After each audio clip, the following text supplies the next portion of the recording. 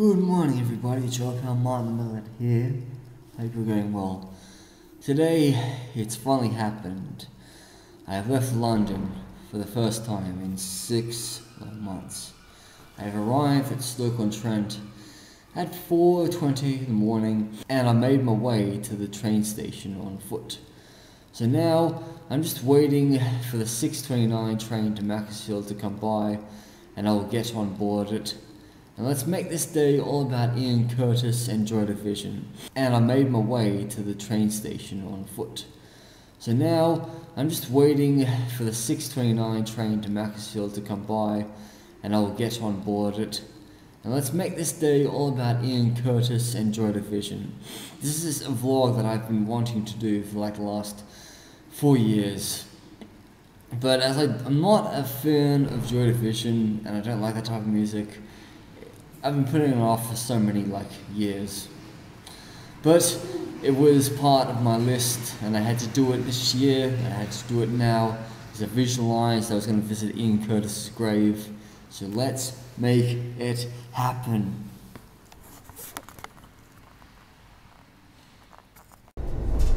Okay, here we are, pulling out of Stoke-on-Trent, heading north. Let's go. I have arrived in Macclesfield. Yes, I'm finally here. Finally in Macclesfield. You know, home of Joy Division and Ian Curtis. I'm just heading south to 77 Barton Road. This is the house where Ian Curtis and Deborah lived. This is the house where Ian Curtis took his own life. Many years ago, the house was for sale, and people thought, oh, if somebody, you know, buys this house, will they turn it into a museum? And then there are a lot of people who say, no, it should not be turned into a museum because it's when Ian Curtis took his last breath. So I just kind of feel like it is significant that when someone famous dies in a house, you don't turn it into a museum. You just simply put a blue plaque up that says, so and so so and so lived and died here. I had no idea Macclesfield was full of so many pubs. Maybe Ian Curtis would have stopped by one of these back in the day.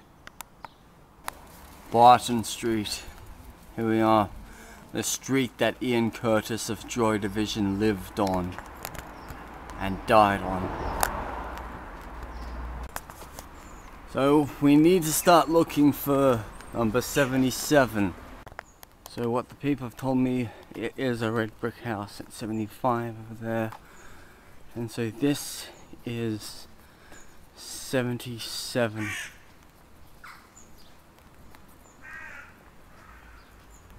Seventy-seven. Well, that Ian Curtis like lived here, but it was um you know,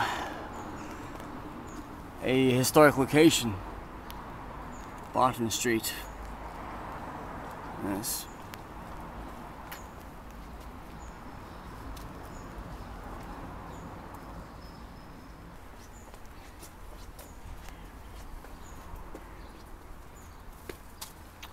Churchill Terrace, 51.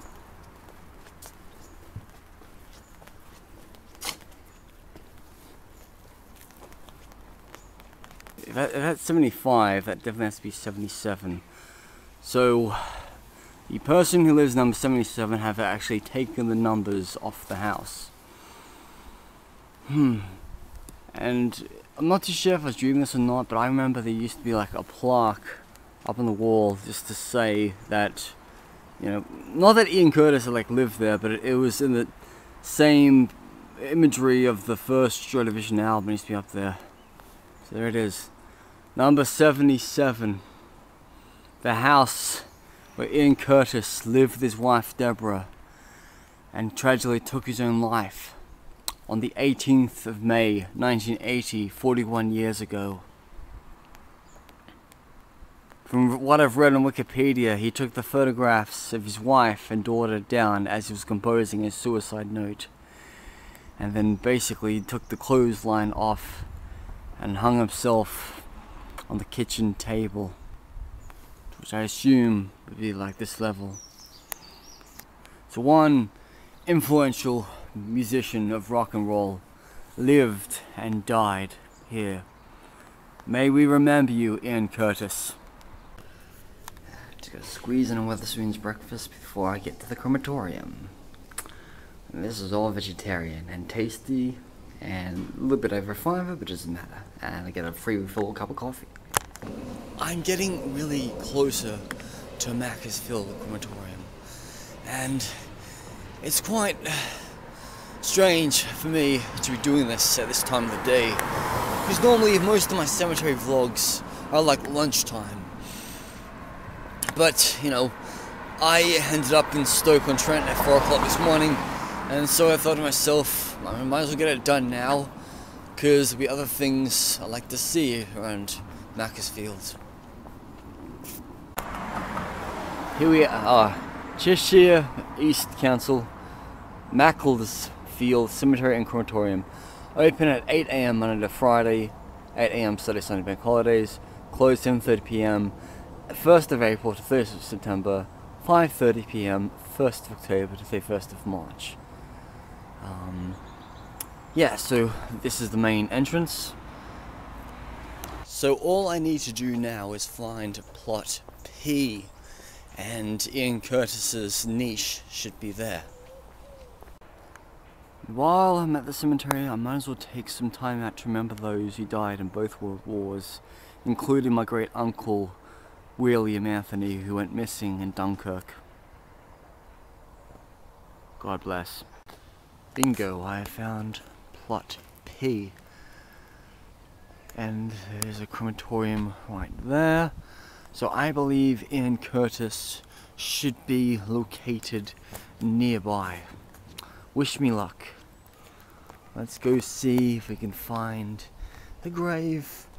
Oh, I'm sorry, the crematorium niche of Ian Curtis. I think I'm in striking distance. This one, and here it is. Oh my goodness. It's like the most visited crematorium niche in this whole cemetery.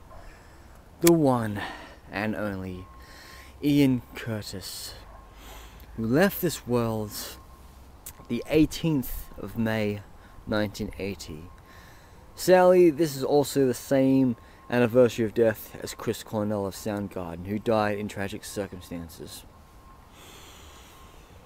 And fans, they still keep flocking. They've left flowers. They've left compasses. They've left, you know, signs, the horns. There's somebody from Spain who's left like a little box there.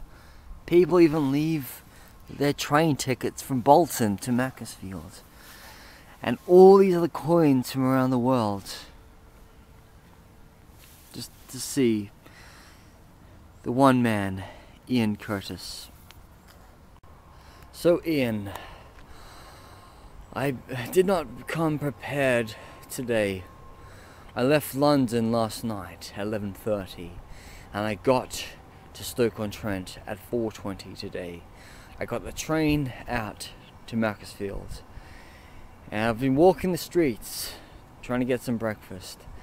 And I couldn't find a flower shop. And I'm not too sure if there's a flower shop nearby. But I'm offering you some money to spend in the afterlife. It's not much, but it's my mark of respect for you. Two pence. God bless you, Ian Curtis. Thank you for the two albums you made with Joy Division. You will always be remembered, even in the next 60 years. May your memory live on and influence my great nieces and great great nieces and nephews. Deborah was the person who put the inscription on your grave Love will tear us apart. It's like the song you wrote for her.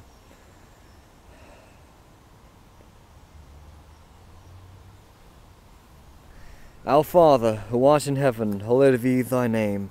Thy kingdom come, thy will be done on earth as it is in heaven. Give us this day our daily bread, and forgive us our trespasses, as we forgive those who trespass against us. And lead us not into temptation, but deliver us from evil. Amen. O my Jesus, forgive us our sins and save us from the fires of hell. Bring all souls to heaven, especially those in of my mercy. Forgive me for mis saying that like prayer wrong.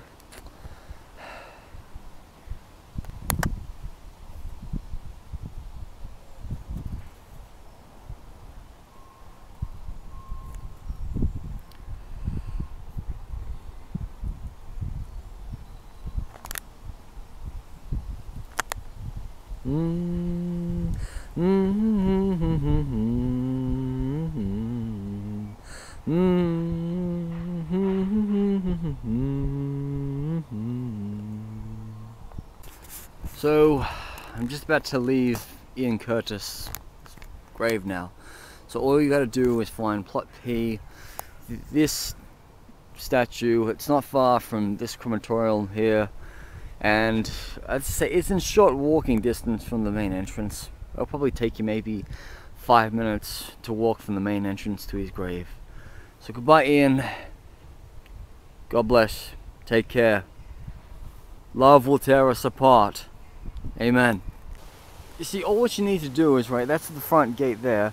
You just have to keep on walking up through, past that big roundabout, go th through it, past all these green area trees, and it just leads you straight there. I should have just headed straight, but my instincts made me go left and right. And man, what a beautiful place to spend eternity. I mean, look at all this greenery right there. And all the wildlife that comes by. Ah.